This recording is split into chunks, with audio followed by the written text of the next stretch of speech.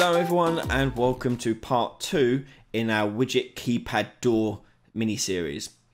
In the first part we went through the process of creating the UI element for our keypad which is looking like this and we set up all our call events and so forth and event dispatchers to be able to uh, talk about talk between different actors and widgets about what's happening with button pushes and codes being entered.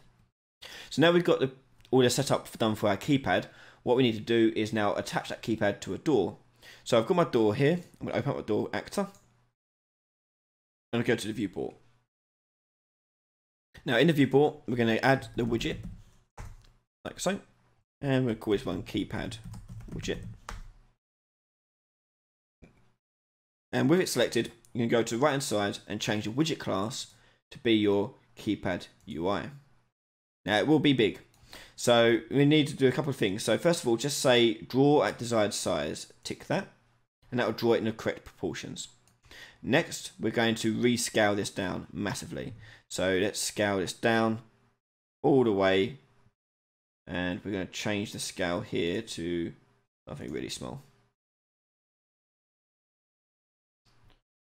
Okay, and we just want to rotate and position that to where you want it to be.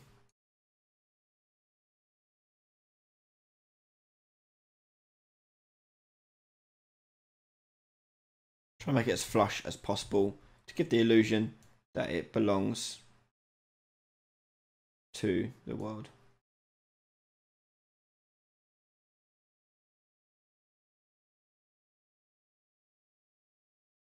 Okay, that's pretty good. We'll leave it like that. Cool. So there's our keypad on the door. So if I click compile and go into my world, you should see it there being proudly displayed. Now it also says zero, but that pre-construct will kick in when we start playing the game and it'll change all the digits to 1, 2, 3, 4, 5, 6, 7, 8, 9. So if I click on it and shoot at it or whatever else, nothing will happen. So we need to set up a few things here to make these buttons work. So the first thing we need to do is add a widget interactor to our player character. So find your player character. And here I'm using the first person blueprint. So in here, in my viewport, I'm going to add a widget interaction. So go widget interaction. And this thing will be attached to the camera. So drag it so it's attached to the camera. And we'll just position that into the position of the camera there. Okay. Click compile. And what we want to do is just show debug for now. So go to the right hand side and choose show debug. Uh, so just so we're testing it. There's a lot more we need to do to this, but we'll do that in the next part after this. So click compile and play the game, and you should see an arrow pointing, sticking out of the game. And when I walk up to something, you see, like a widget, you can see that little red ball appear at the end. Okay, so that shows you where you can interact with a widget. Okay, uh, it doesn't do nothing yet. If I click, we have to set all that up, but that's by and large the gist of it. Okay, so I'm going to come out of there and go back to my first person character. So to make it so our mouse clicks can be registered with the widget interaction, we need to send that over to a event. So what I'm going to do here is I'm going to create an event here for right mouse button. And when the mouse right button is pushed, we want it to do various things. So we're going to go up here and do pressed, uh, not pressed, press pointer key. There we go. So we're going to do press pointer key. And that will use a widget interaction to tell it to detect and act like a left click has happened. Well, any key here. I'm just going to make this look like a left click. Now at the moment we're doing this with just the mouse right mouse button, but we will in the next part go through how to do it with the left mouse button, as we need to shoot when we're not looking at it, so forth. So on release, we can do release, pointer key, and that'd be a left click again, left mouse button, like so. We don't need two of these, I can just hook up one and it'll work just fine. So right mouse button will tell the widget that we're left mouse button clicking. So this is similar how if you want to make like buttons on the, on the gamepad act like triggers. That's one way around it as well. So at the moment, if I right mouse button, I'll be able to click on these things. Obviously, we haven't told it to do anything yet, but uh, ears clicking on them. I can test this out and show you. If I go into my button here and on the button here, I just do print string and click compile. And when I right mouse button click on it, it will act like a left click has happened on that button. So it will now print hello on all these buttons here. Okay. So to make it so it shows what number has been pushed, what I'm going to do is go back into my gamepad uh, UI because it's changing the value, but we need to tie our current code variable to this variable, uh, this value up here. So click on your text for that, and we're going to take it, make it is variable, and change the name of it to code text. With that now ticked, we can go to our graph, and we're going to just put it before we call the code entered uh, event dispatcher. So before we do this length testing, we're going to just drag that along here. And we're going to drag the code text out and choose get. And from there, we're going to set text. And the text is going to be just this current code dragged into it.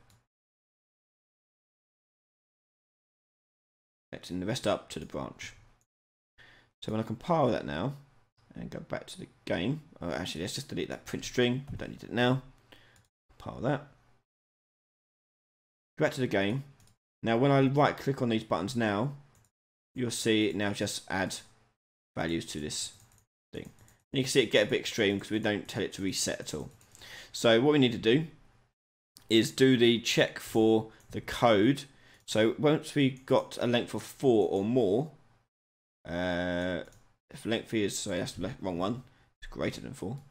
If length is greater than or equal to four, um, it's going to call this call code entered. So what we need to do is on our door, we need to bind that call to something else. So go to your door, and what I'm going to do is on the begin play of this, begin play, we're going to do the binding of that. So from here, we're going to drag our keypad widget out, and we're going to get user widget you want user widget object, and that'll get the actual widget that this component is using. And we're going to cast that to our keypad button, no keypad UI widget.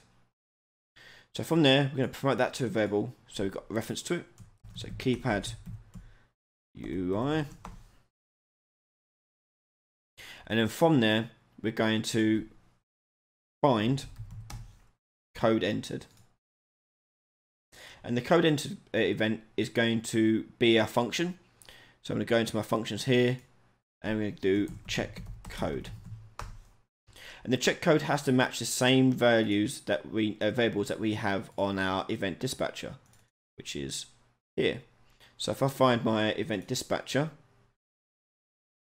there, we need a string and we need a keypad UI variable.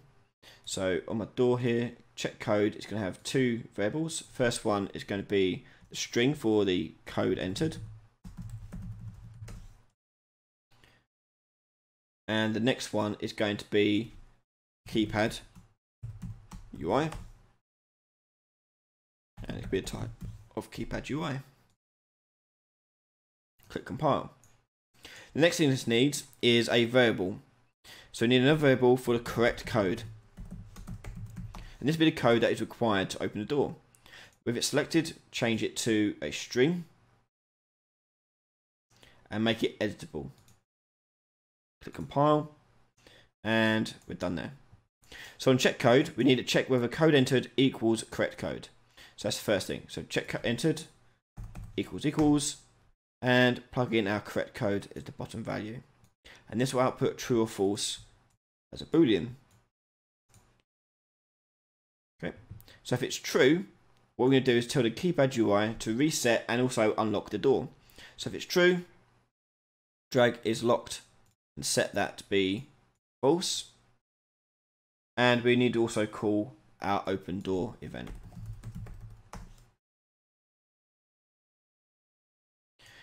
After that, we're going to reset the current correct code here to the uh, blank value. So type in keypad UI, and you'll see get uh, keypad It'd be oh, doesn't have named the same thing. But I think it's this one.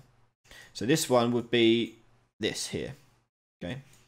Also, alternatively, you could drag the pin right across, but I don't like dragging pins right across like that. Makes it hard to read. So from that, we're going to. Uh, I guess it doesn't really matter which one you got. You can use either. So from there, we need to just set current code to blank.